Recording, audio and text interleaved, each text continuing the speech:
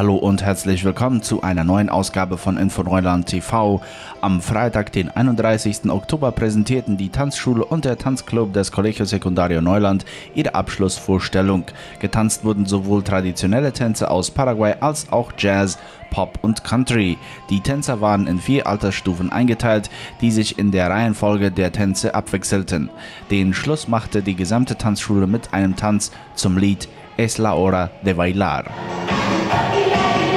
Und noch einige Kurzmeldungen. Am Sonntag, den 26. Oktober, fand ein Streicherkonzert unter der Anleitung des deutschen Konzertmeisters Götz Bernau im Auditorium der Sekundarschule statt, an dem sich Streicher aus den drei Mennonitenkolonien im Chaco beteiligten. Am Abend davor schloss das diesjährige Menne-Fepper Fußballturnier für den DBN ab. Im letzten Spiel verlor die Jugendmannschaft mit 1 zu 7 gegen den LSV und die Auswahl spielte ein 2 zu 2 unentschieden. Und hier zum Abschluss die Punktetabelle der ganzen Saison.